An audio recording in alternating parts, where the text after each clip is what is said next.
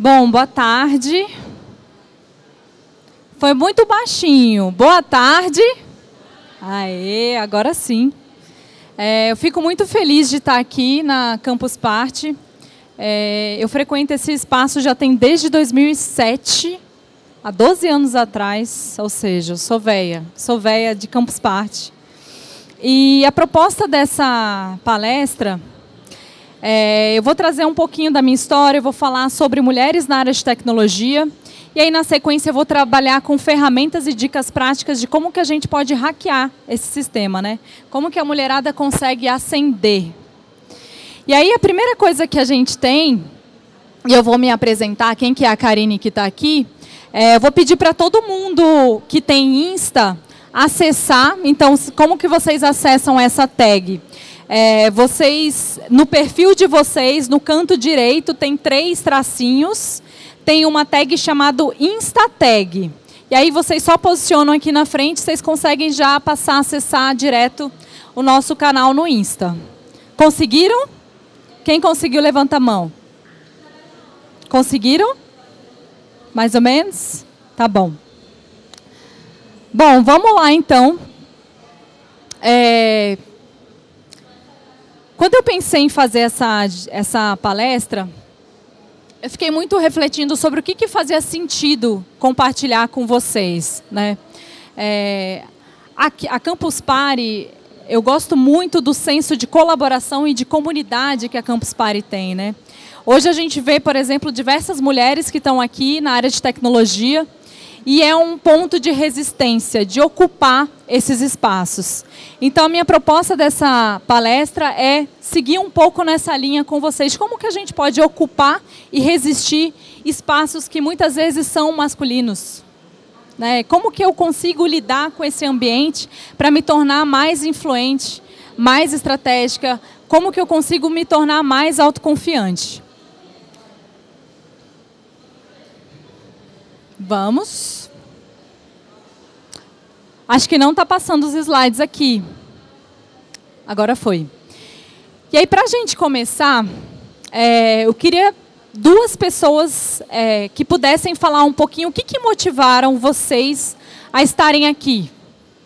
Né? Então, quando vocês olharam lá o título da palestra, abraçar sua vulnerabilidade e ousar ser quem você é, o que, que motivou vocês a estarem aqui? Quem gostaria de falar? Uma de cada vez. Posso chamar alguma de vocês para falar? que, que motivou? Só falar sobre expectativas. Beleza, aqui. Vou trazer o microfone para você, tá? Pode ser vocês duas. O que me motivou a vir para essa palestra é que eu trabalho num ambiente majoritariamente masculino, que é a criação de uma agência de publicidade, e é um ambiente hostil e pesado, porque a gente tem que conviver com diversos tipos de piadinhas, de comentário, que é o que forma muita, muita coisa aí que a gente está questionando hoje. E aí eu vim pelo título da, da palestra porque é necessário ocupar esses espaços e saber como se posicionar. Muito bom. Alô? Oi. O que me motivou a estar aqui é que, assim como ela, eu também trabalho em um ambiente que 99,9% são homens. E a, compet a competitividade entre eles é uma coisa muito assídua e parece que eles evitam abrir espaço para uma mulher no meio deles. Então, isso já cabe na outra parte também, tipo, do maior desafio ao meu desenvolvimento profissional, que muita gente acha, ah, não, é mimimi, não tem isso, mas a competitividade entre eles já é tanta que eles não querem abrir espaço para a gente entrar também, para a gente ter uma oportunidade, às vezes, de liderança ou estar tá em um cargo acima de deles. Isso é bem complicado. Muito bom, gente. Excelentes contribuições. É, eu vou contar um pouquinho, então, da minha história. Acho que a minha história ela é muito semelhante com muitas de vocês aqui. Além de vocês duas, quem mais é da área de tecnologia? área de tecnologia ou trabalha com inovação ou uma empresa que tem base tecnológica? A realidade, eu diria que 80% do quadro são homens, certo? E aí, se a gente vai falando no setor técnico de programação, é pior ainda. A gente vai estar falando de 10% de mulheres nessa área. É, e aí, compartilhando um pouquinho de mim, quem que sou eu, quem que é a Karine Rose, que está aqui na frente. É, quando vocês trazem as histórias de vocês, é, eu, eu me vejo muito nas falas que vocês trouxeram. Por quê? A minha realidade, é, eu vim de uma área de comunicação, então me formei na área de comunicação e sociologia, mas na época que eu me formei, eu comecei, estava no auge o Orkut. Quem é dessa época do Orkut? Estava lá no auge o Orkut. Twitter estava começando a bombar, ainda estava muito levemente. E eu comecei a pensar, cara, eu quero trabalhar nessa área, porque essa área é o futuro da comunicação. E aí, beleza, já era super decidida, saí de lá e comecei a entrar na área de comunicação digital. Então, trabalhei mais de 10 anos em alguns organismos. Então, trabalhei na, no Unesco, trabalhei no Unicef, na Secretaria de Direitos Humanos. E qual que era o ponto? Eu chegava lá nesses espaços e as equipes que estavam lá basicamente eram masculinas. Porque eu, eu fazia interface entre a área de comunicação e a área de tecnologia. E eu tinha muita dificuldade de me posicionar. Tinha muita dificuldade de ser ouvida né? Eu lembro de, de projetos que eu trouxe para a mesa e simplesmente ninguém me ouvia. E aí, quando vinha um colega, trazia a mesma, ou de uma forma um pouco diferente, as pessoas ouviam. E eu comecei a olhar para aquilo e falei assim, cara, eu acho que esse espaço não é para mim. Acho que eu não devo estar aqui. E comecei a, a, a realmente acreditar que a minha capacidade era inferior à dos colegas que estavam lá. É, e aí eu comecei a ter uma palavrinha chamada síndrome do impostor. Não sei se algumas de vocês já ouviu falar, mas é atribuir o sucesso à sorte. Então, na época eu tinha sido promovida, eu tinha um bom relacionamento com o meu chefe, e eu, eu de verdade acreditava que era porque eu tinha um bom relacionamento. Não tinha a ver com competências, com as minhas competências. E qual que foi o ponto da minha história? eu cheguei a me afundar. Porque eu começava a fazer curso atrás de curso. Então, tudo que vocês possam imaginar, mesmo eu não trabalhando na área de programação, eu inventei um curso de programação para fazer. Fui para a área de analytics. Gente, eu me enfiei em tudo que é curso que vocês possam imaginar, voltados para a área de tecnologia. Só que isso nunca me preenchia. Nunca me preenchia. Porque eu ainda acreditava que eu não era capaz suficiente para estar naquela função. Como que isso mudou? Qual que foi o ponto da, da curva dessa minha história? Quando eu comecei a conversar com outras mulheres. E aí eu comecei a ouvir histórias muito semelhantes às minhas. Mulheres que, que tinham puta potencial, eram brilhantes, mas que estavam desistindo da sua carreira. Então começavam, falavam assim, cara, esse lugar não é para mim, microagressões diárias, assédio, várias outras questões, e desistiam da área. E eu comecei a olhar aquilo e falei assim, cara, não é possível. Não é possível que uma área tão brilhante, que é o futuro do nosso país, né? A gente está falando de inteligência artificial, internet das coisas, e a mulherada não está à frente disso. E eu comecei a fazer mentorias. Então, dos processos que eu aprendi, eu comecei a mentorar essas pessoas que estavam lá, essas mulheres. Daí surgiu uma comunidade chamada Maria Lab. É, hoje eu não estou mais à frente dela surgiu junto com outras pessoas, mas com uma proposta de é, falar sobre feminismo, falar sobre como a gente se posiciona nesse ambiente que é masculino, falar sobre tecnologia e outras áreas. É, eu estou com um probleminha aqui para passar os slides. Ele não está indo.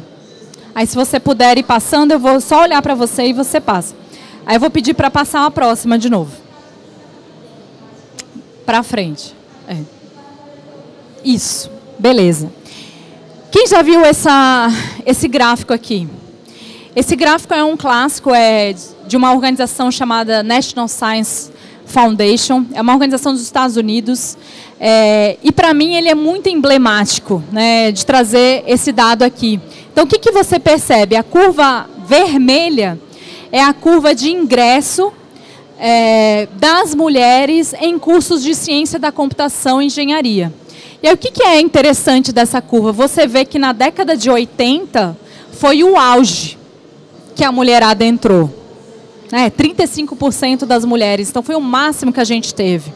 Hoje, no nosso país, a gente tem 15% das mulheres ingressando cursos de ciência da computação e engenharia, de acordo com a Sociedade Brasileira de Computação. E o que, que é curioso? Para mim, esse dado ele, ele me intriga. Porque a gente estava no auge do computador pessoal, década de 80. E a curva não só caiu, como ela decresceu abruptamente. E estamos falando de revoluções tecnológicas que estão acontecendo na nossa sociedade. Pode passar. E o que, que é interessante? Existe nessa discussão, para entender qual que é o motivo que fez com que as mulheres se afastassem dessa área, tem esse livro chamado Unlocking the Clubhouse. É um livro bem antiguinho, década de 90. E o que, que ele traz? Ele diz que o problema é cultural, que o problema começa na infância. É, naquela época, o PC era considerado um videogame e ficava restrito ao, ao filho homem. E eu lembro, por exemplo, na minha época, o videogame quem recebeu foi meu irmão e ficava restrito ao quarto dele. E isso simbolicamente para mim era algo que pertencia a ele. Brincava com ele, sim, mas era algo dele. Era algo que ele, se ele quisesse, ele compartilhava comigo. E esse é o ponto da discussão que eu começo a trazer aqui para vocês.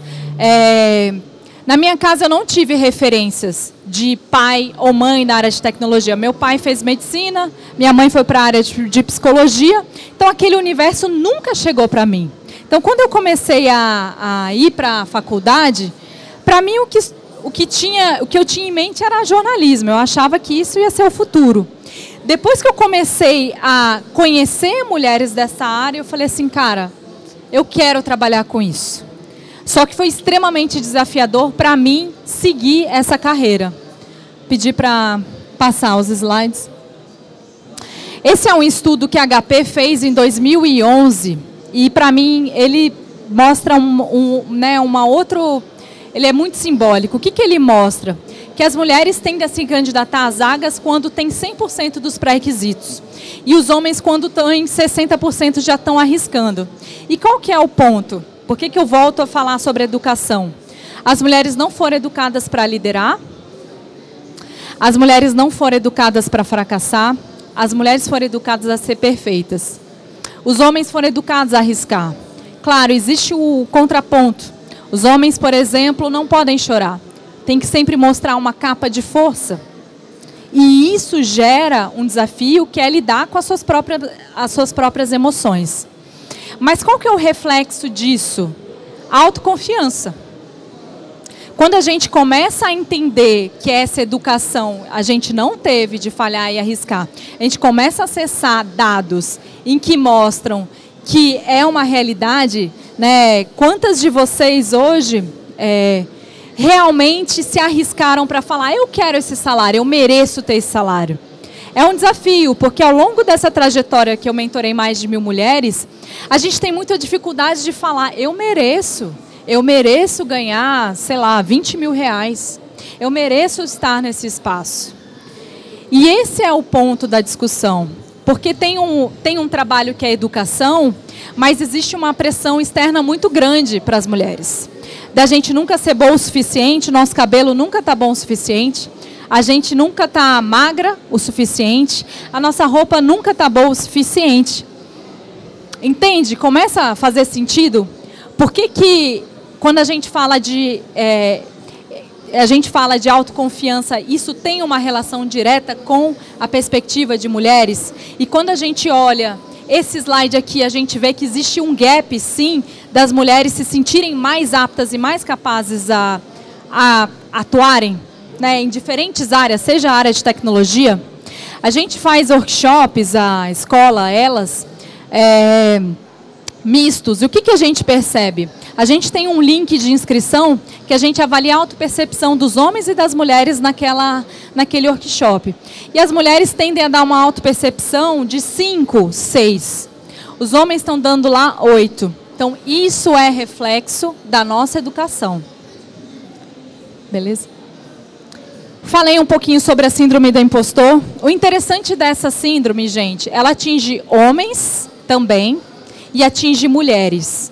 Mas principalmente as mulheres. E eu estou falando de mulheres também bem-sucedidas. Eu estou falando de mulheres que estão hoje em nível de diretoria e que saem desse cargo porque acreditam que elas não são capazes suficientes para estarem nessa função. Então, exemplos, né? Eu trouxe um pouco da minha história, falei um pouco desses exemplos. Mas o, o senso de perfeccionismo extremo, é, a busca de ficar fazendo curso atrás de curso. A gente, a gente estuda mais que os homens, isso é um fato. Né? O IBGE tem, traz várias pesquisas em relação a isso. Mas a gente nunca acha que a gente é capaz suficiente. A gente atribui a sorte a né, um sucesso à sorte, nunca ao nosso mérito. Isso tem a ver com síndrome do impostor. E ela atinge mulheres início da carreira e mulheres que estão em altas posições. Falei sobre esse dado. É, hoje, 15% das mulheres estão ingressando nos cursos de ciência da computação e engenharia no nosso país. De cada 10 mulheres, 8 mulheres estão desistindo das, da área de ciência da computação e engenharia no primeiro ano. E eu estou falando é, de uma profissão que é altamente necessária. Hoje falta profissionais, homens e mulheres, no mercado de tecnologia. Se a gente for olhar o salário lá, pegando os Estados Unidos do Google, um profissional júnior de programação, claro, estou fazendo em dólar a comparação, está ganhando em média 20 mil reais. Ou seja, é uma área que é altamente lucrativa. E a gente não está nesse espaço. E qual que é o reflexo da gente não estar nesse espaço? Simplesmente, se eu tenho uma camada de pessoas muito semelhantes produzindo tecnologia, produzindo produtos e serviços, qual que é o impacto disso na nossa sociedade? Será que essas tecnologias elas são de fato acessíveis, inclusivas para toda a população? Eu vou dar um exemplo de que hoje está sendo um grande desafio para a área de inteligência artificial, os algoritmos. Você tem um desafio mais básico, que é de reconhecer a mão de uma pele negra num sabonete automático que libera o sabão, ao ponto de hoje, por exemplo, a gente chegar numa situação mais drástica de um carro autodirigível, você está passando numa passarela e você não reconhecer uma pessoa negra.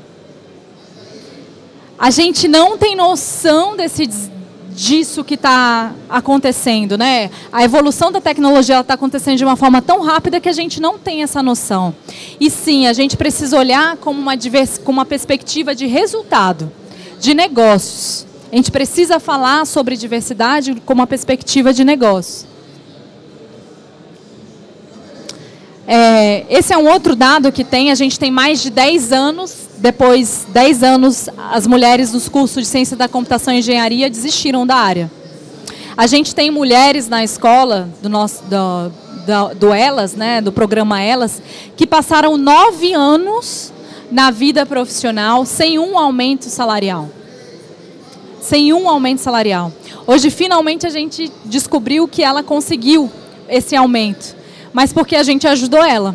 A gente ensinou ela a fazer técnicas e abordagens como que ela fala sobre resultado do trabalho dela. A gente tem muita dificuldade de se vender. Pode passar, por favor. Oi. Obrigada. É, e por que, que elas estão indo embora? Então a gente tem alguns desafios aí pela frente. Primeiro ponto, microagressões. Falei um pouco dessa minha história eu praticamente eu não desisti porque eu tive o apoio e o acolhimento de outras mulheres. Senão eu teria, com certeza, seria estaria nessa estatística. Falta de acesso a papéis criativos e isso é feito de maneira inconsciente, tá? Vou dar um exemplo, por exemplo, de uma mãe ou de uma grávida, onde inconscientemente o gestor passa a dar papéis talvez menos estratégicos para ela. Isso acontece, a gente ouve diariamente esse tipo de, de história. Então, isso é uma realidade entre as mulheres. Falta de plano de carreira, claro. Claro, existem empresas que são uma bagunça, mas é, enquanto a gente não tem essa clareza desse plano, a gente vai continuar vendo mulheres que vão chegar no momento e falar assim, cara, Isso aqui não é para mim. Eu não estou sendo reconhecida. Mas o ponto é, se eu quero estar nessa área, eu preciso ter clareza de como eu vou me vender. Faz sentido? Eu preciso ter clareza de como eu falo do meu trabalho. E a gente vai precisar aprender a ser mais estratégica em relação a isso. Vocês acreditam que existem mais homens com o nome John comandando as grandes empresas do que todas as mulheres no mundo? Quem vai dar o nome de filho de John aí quando nascer? John, David, está em alta. Esse, a gente traz esse dado aqui que é para chocar mesmo.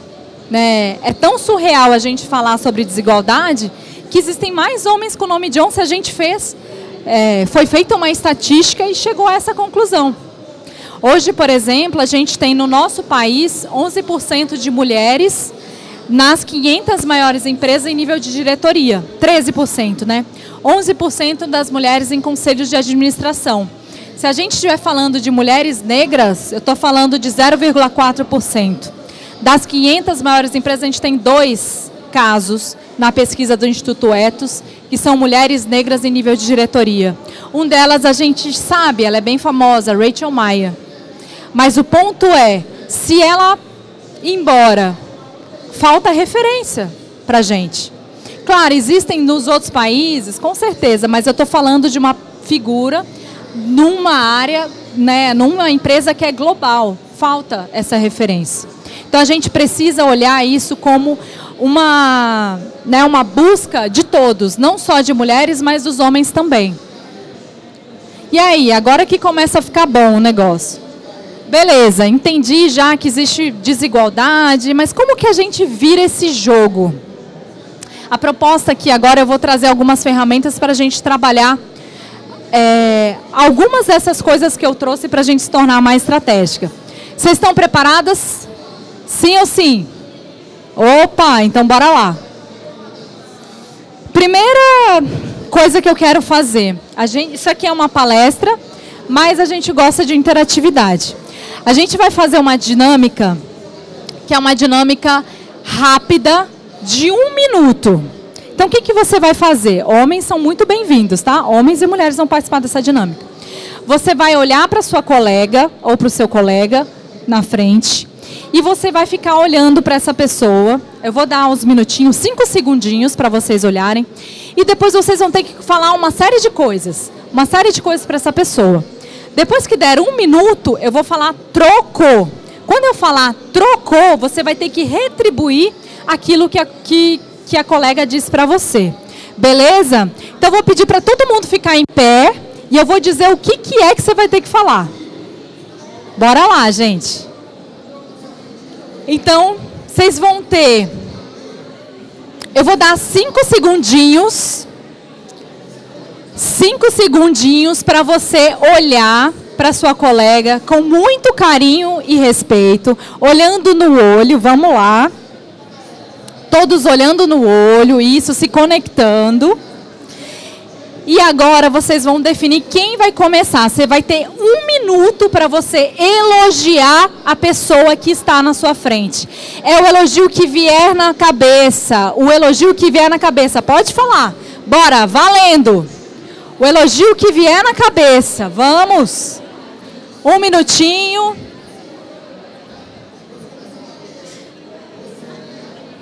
Isso. Isso, muito bem. Vocês vão falar obrigada quando vocês estiverem recebendo elogio. Obrigada, obrigada, obrigada. Isso, muito bem. Vamos? Vamos, levanta. Vamos. Vamos lá.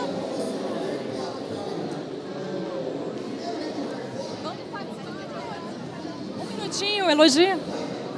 Não?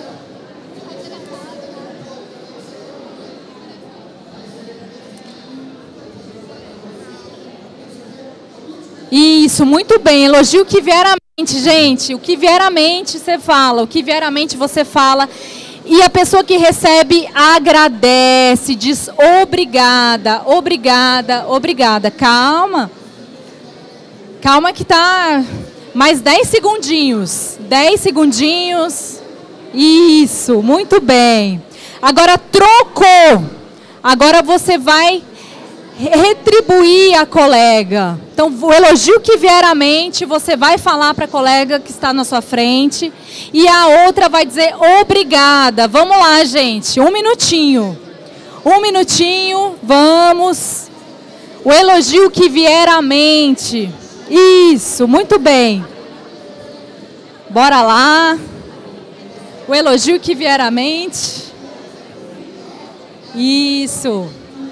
Se conectando, olhando no olho. Isso. Muito bem. Isso. Isso aí, gente. O elogio que vier à mente. Que vier à mente, fala, fala.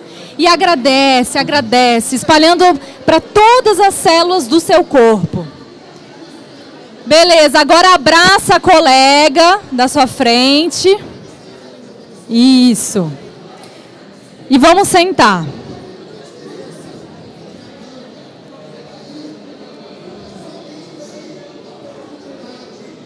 Valeu a pena? Como que foi receber esse elogio? Foi bom? Foi gostoso? Agora eu vou fazer algumas perguntinhas para vocês. Quem sentiu desconforto para elogiar, levanta a mão. Uns 15, 20%. Quem sentiu desconforto para receber o elogio? Receber o elogio, levanta a mão.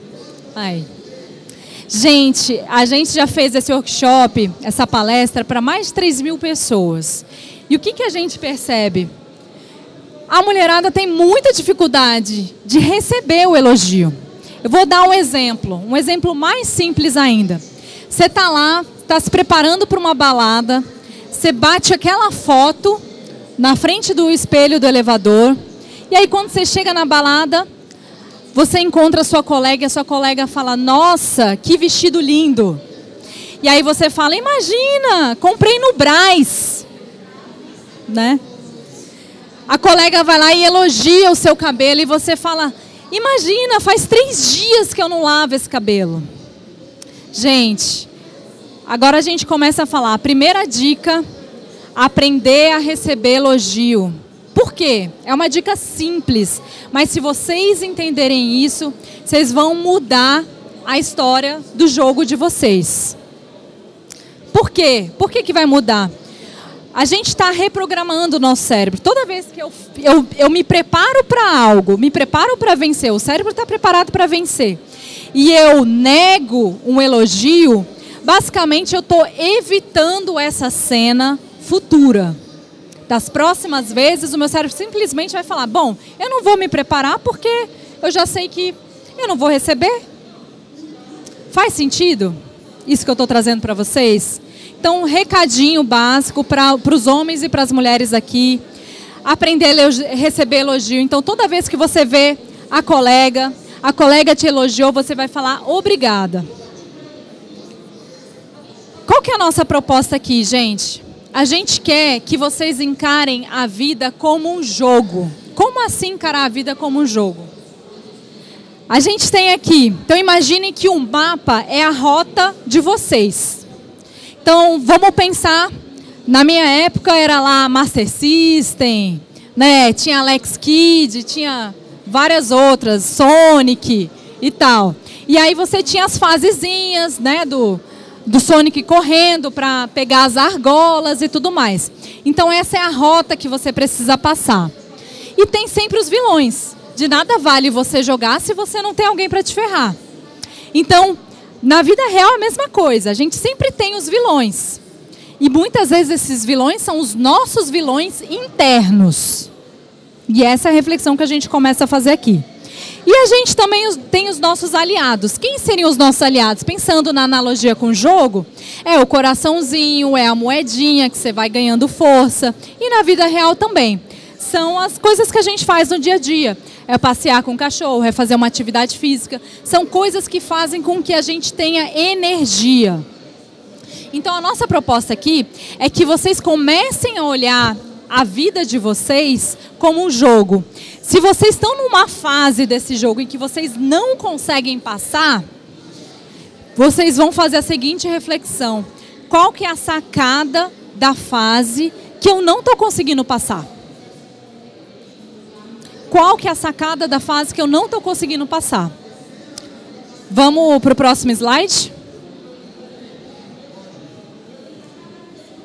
Beleza. Então tá, então vamos comigo. É, e aí eu estou falando do ser humano. Então pensa que a gente hoje tem 6 bilhões, né, 7 bilhões de seres humanos que vieram aqui para o planeta. E todos nós temos um chip. O que, que é esse chip? É o chip das seis necessidades humanas. É, é, o chip dos comportamentos que a gente tem, as nossas emoções. Então, quando a gente olha para esse chip, o que, que a gente tem? A gente tem um comportamento, só que o comportamento ele vem de uma emoção que eu sinto. Vou dar um exemplo. E da emoção, você tem um significado que você atribuiu àquela emoção e do significado você tem um valor. Então eu vou dar um exemplo. Então estava vindo aqui, estava me preparando para dar essa palestra aqui para vocês. E das seis da manhã eu quebrei um copo. Puta! Qual que é a sensação? Qual que é o significado que eu atribuo a essa quebra do copo? Fudeu. Meu dia vai ser ruim, vai dar merda. E aí eu começo a vir para cá e alguma uma pessoa vai lá, é, dá uma passada e você e você acha que tudo das, do dia vai ser ruim. Porque você criou para que ele fosse ruim. Mas o ponto é, qual que é o significado que eu estou atribuindo às coisas que estão acontecendo? E se eu, por exemplo, quebrasse um copo sem querer e falasse assim, energia ruim que vai embora. Agora sim que meu dia vai começar. Então essa é a reflexão que a gente quer começar a passar para vocês. Gente, isso aqui é dica de ouro para vocês. Quando a gente começa a entender as nossas emoções e os significados que eu atribuí a essas emoções, eu começo a entender qual que é a sacada do jogo, quais são as relações, os comportamentos que estão envolvidos das pessoas. E é aí esse convite que a gente passa a fazer para vocês, que vocês é, sejam mais estratégicos. Estou falando de todo, to, o ser humano como um todo. E o principal a gente cuide das nossas emoções. A gente aprenda a dominar isso de uma maneira que seja mais estratégica para a gente. Pode passar. Beleza. Resumindo um pouquinho do que a gente trouxe aqui, eu estou falando de significados que a gente está atribuindo. E o primeiro ponto que a gente quer trazer aqui tem a ver com a comunicação. Então eu falei é, falei sobre a rota, todos nós temos uma rota, ou seja, eu tenho um mapa de mundo. E o ponto é, o meu mapa é diferente do seu. Vou dar um exemplo. Quem considera aqui uma pessoa que é extrovertida, levanta a mão. 15%. Quem que é introvertida? E quem que é extrovertido, extrovertímida aqui? Levanta a mão. É o resto que ficou, né? Gente, por que, que eu estou falando aqui? Um exemplo simples. A gente está, por exemplo, num ponto de ônibus. Aí você tem as extrovertidas. Né? É uma segunda-feira. A extrovertida quer falar porque quer falar com a pessoa que está do seu redor.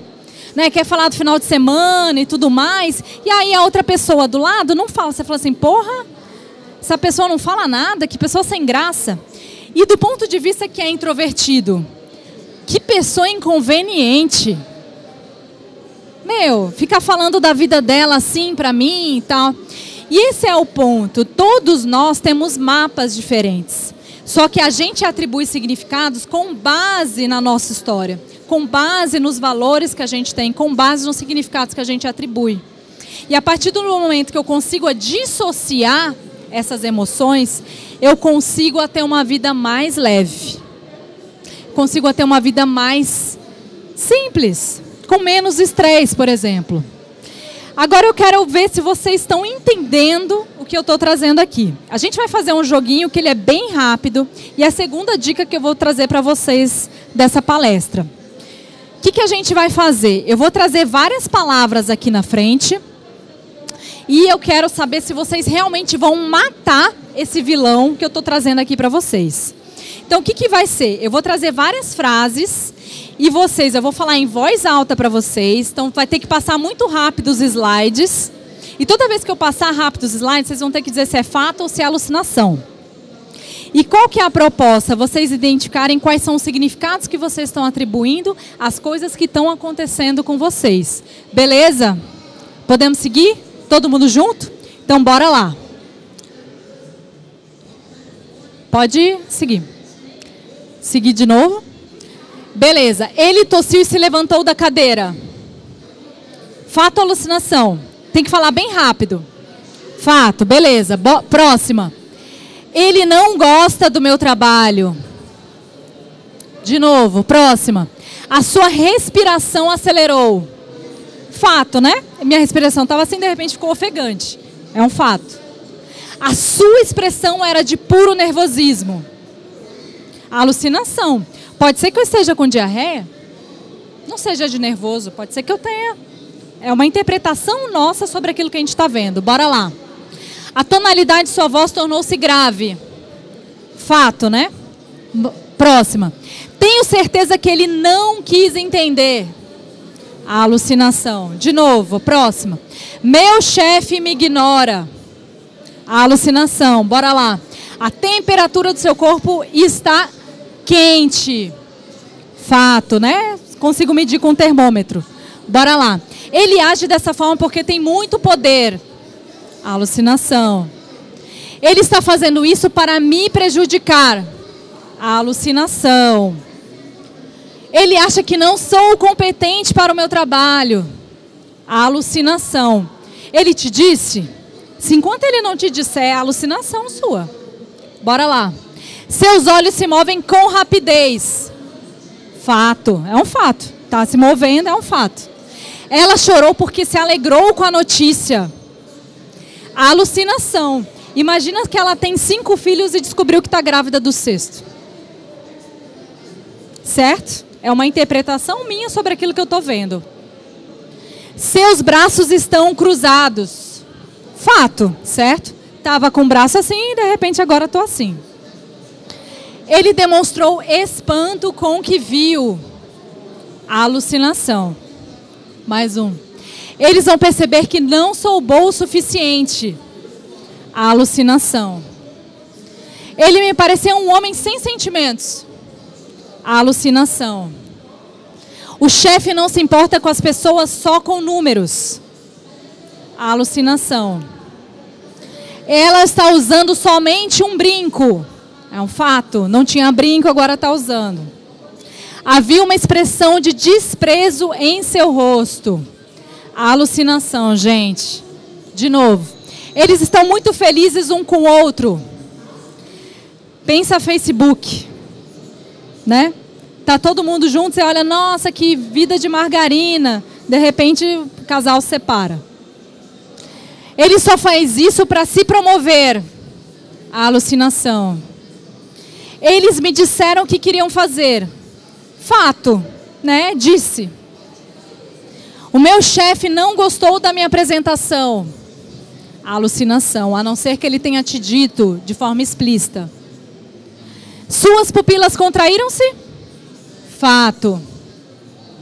Nunca vou ser promovida. De novo. De novo. De novo. Isso. Muito bem. Gente, uma pessoa aqui para dizer por que, que valeu a pena esse simples exercício.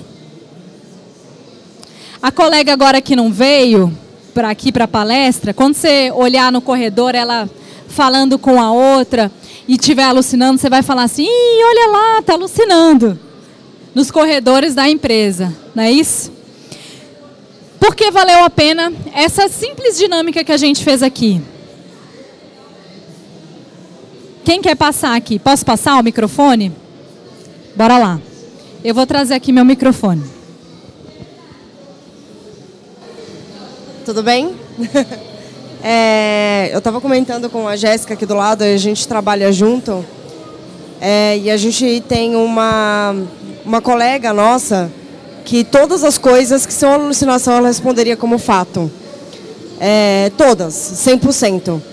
E como isso não está só prejudicando a carreira dela, está prejudicando também quem está em volta. Porque para o mundo, ela, ela leva não só ela para o mundo da alucinação, mas todo mundo que está em volta. Então acaba sendo uma relação muito tóxica. É, então a, a, dinâmica deu até uma ideia para a gente de como a gente pode lidar com isso a partir de agora, para ajudá-la, inclusive, porque é, às vezes a gente também a gente quer afastar a pessoa porque ela atrapalha a gente, mas se a gente tiver alguma técnica de como ajudá-la, óbvio que a nossa prioridade também vai isso. tentar ajudar. Como que vocês saem disso? Perfeita a sua contribuição. É, puta, tô alucinando aqui, cara. Vou, vou, dar um exemplo, por exemplo, de uma apresentação na, lá no trabalho. Então imagina que eu sou a chefe de vocês, sexta-feira. Vocês fizeram uma apresentação para mim, e aí eu saí da apresentação e eu não vi mais vocês e saí com a cara um pouco fechada. Quem vai acreditar que tem a ver com a apresentação, levanta a mão. Especificamente, direto com a apresentação. Qual que é o ponto disso, gente? É, a gente precisa aprender a fazer perguntas. E perguntas inteligentes. Quando eu falo pergunta inteligente, é assim: você precisa chegar para sua chefe e precisa falar assim. É, vamos supor, passou um final de semana e você quer saber se a sua apresentação estava uma merda. Então você vai chegar para a chefe, primeiro empatia, e você, segunda-feira ela entrou no escritório de cara fechada, você fala assim, fudeu. Então o que, que você vai fazer? Você vai entrar em contato com ela, primeira coisa você vai fazer uma empatia, falar assim, oi chefe, você sempre sorri, está bastante alegre, fato, ela sempre sorri, de repente ela vem com a cara fechada. Algo aconteceu, posso te ajudar com alguma coisa? Talvez ela fale assim, cara, tive um problema com, com a minha família, desculpa, com a minha filha. É, não tem nada a ver com vocês. E aí depois você pode falar: o que você achou da minha apresentação? Algo que eu posso melhorar? Entende? Como que a gente sai dessa alucinação? Fazendo perguntas. E perguntas específicas. Não é falar para chefe: Oi, chefe, tudo bem? Você gostou da minha apresentação? Ah, gostei. Mas o que especificamente você gostou? O que especificamente você acha que essa minha apresentação pode melhorar? Gente, isso aqui reduz qualquer estresse que a gente possa ter. Por quê? Porque às vezes a chefe viajou, passou 15 dias e você está lá alucinando durante 15 dias, achando que você vai ser mandado embora. É um fato. Isso acontece pra caramba. A gente alucina o tempo inteiro. E como que a gente reduz isso? Vai direto para o ponto, pelo menos se a apresentação foi, foi uma porcaria, você já sabe que foi ruim, né? Então sofre com objetividade, pelo menos. Né? Faz sentido? Dica foi boa? Beleza, então vamos seguir. Pode ir mais uma? Parar de alucinar, já falamos. Qual que é a outra dica que eu quero passar para vocês? Alguém aqui já começou a, a ler o livro da Michelle Obama? Alguém? Eu estou começando. É um livro gigante. Eu sou fã dela. E o que, que ela traz nesse livro que eu acho que faz muito sentido para essa atividade que a gente está fazendo aqui? A gente precisa aprender a ressignificar o que é fracasso. Mais uma vez, o significado que eu estou atribuindo às coisas que estão acontecendo comigo. Por quê? Porque a gente vai errar pra caramba. Então a pergunta, o convite que eu faço para vocês é: o que é o que é o pior que pode acontecer comigo? Estou indo para um processo seletivo. Olho lá, tipo, estou com 60% dos pré-requisitos, não tenho 100%. Que é o pior que pode acontecer nesse cenário? Eu não passar. Quero ser promovida. Claro, existe um preparo para você ser promovida, né? Como que você aborda o seu chefe da maneira correta? Qual que é o pior cenário que isso pode acontecer? Ele te falar das regras claras. Se ele falar assim, olha, nesse momento a gente não tá, não tem promoção aberta, e aí você pode fazer perguntas inteligentes, ok? E o que, que eu preciso saber especificamente? Qual que é o resultado que eu preciso entregar? para eu entender que eu, depois que eu entregar esse resultado, eu estou apta a ser promovida. Entende? É disso que eu estou falando. E eu estou falando da gente ressignificar o fracasso. Eu vou dar um exemplo aqui. Por exemplo, é, nos Estados Unidos, quando você vai lá fazer um pitch lá para os investidores, a primeira coisa que eles perguntam é: quantas empresas você quebrou? Aqui no nosso país, se você quebrar uma empresa, você é um fracassado. Você é um completo fracassado. Mas é a ótica. Qual que é a ótica que é ser visto? A curva de experiência.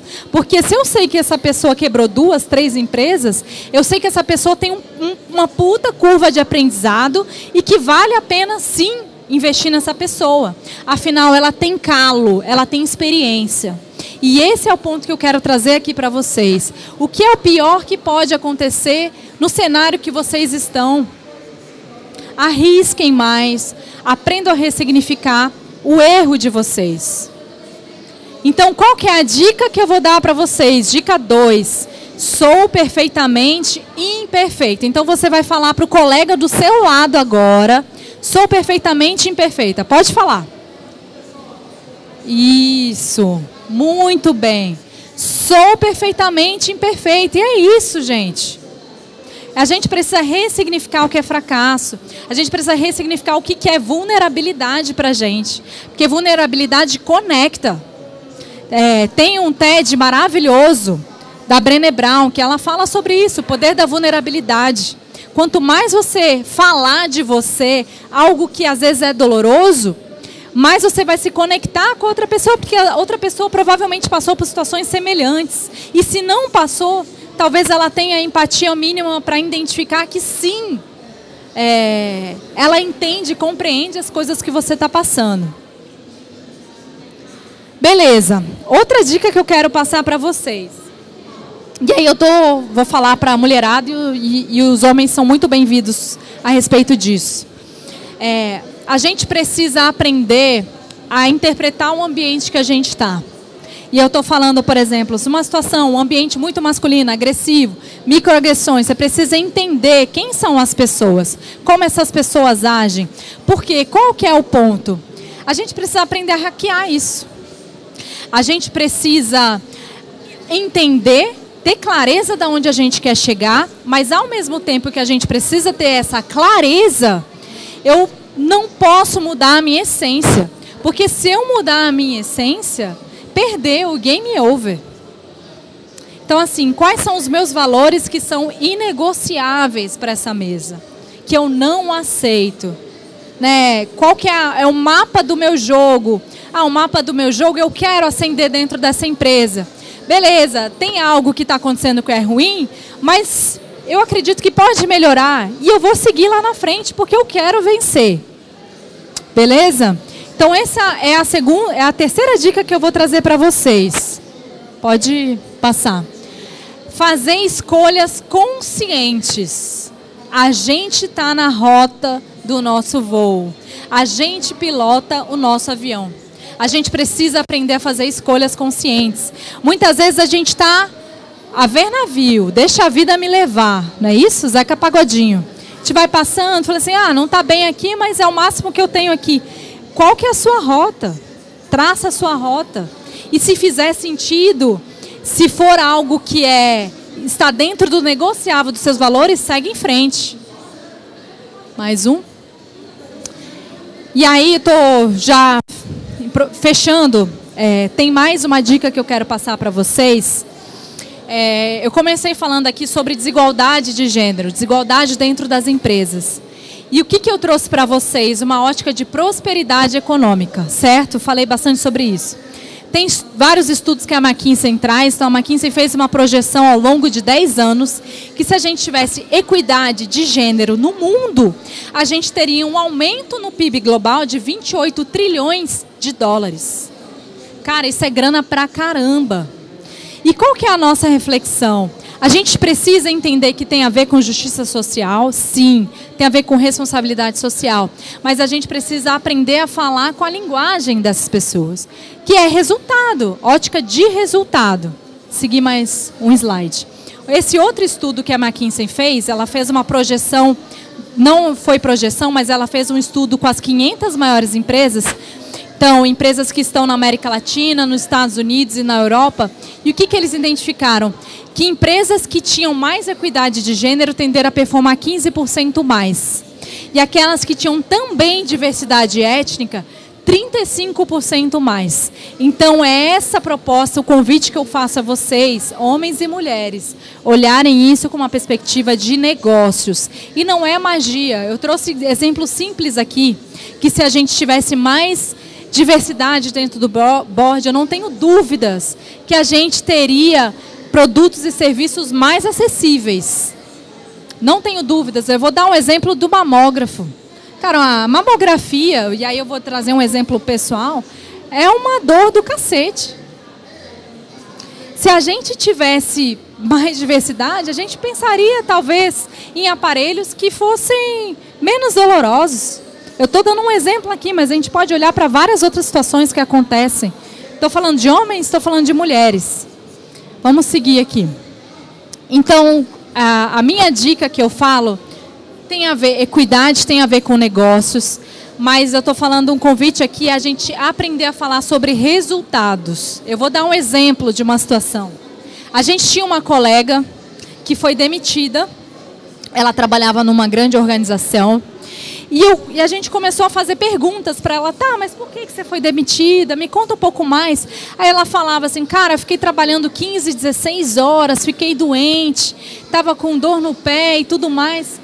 E eu falei assim, tá, mas você conseguiu mostrar os resultados que você entregou para a empresa? A quantidade de pessoas que você trouxe? Os, os patrocínios que você trouxe para a empresa? Ela não tinha esses dados. Então, o convite que eu faço para vocês aqui é pensar em resultado sobre o trabalho de vocês. Não pensem em esforço. Estou 15, 16 horas aqui, ninguém está me vendo, eu não estou recebendo. Um dia alguém vai, vai olhar para minha cara bonita. Não vai. Você vai ter que ir atrás. Você vai ter que ir atrás negociar seu salário, porque ninguém vai chegar. Às vezes chega, mas não é. Na maior situação, não é esse é o caso. Então, aprendam a pensar de forma mais estratégica sobre o resultado do trabalho de vocês. Beleza? E aí, para fechar, é, eu gostaria de fazer um convite que é a gente precisa, e aí para as mulheres e para os homens. Primeiro, os homens precisam estar tá nesse, nessa discussão, gente. A gente não vai mudar essa realidade se a gente não tiver vocês. Então, é extremamente importante vocês estarem aqui. E o outro ponto, a gente precisa olhar a nossa colega com menos competitividade. Isso é um desafio, não porque é biológico, porque é contexto histórico. Lembro do caso da minha avó. A minha avó, por exemplo, ela se casou para ela ter uma identidade. Estou finalizando. É, ela se casou para ter uma identidade. Por quê? Porque se ela não se casasse, ela não teria senso de pertencimento na sociedade. E esse é o ponto que a gente começa a trazer aqui para vocês.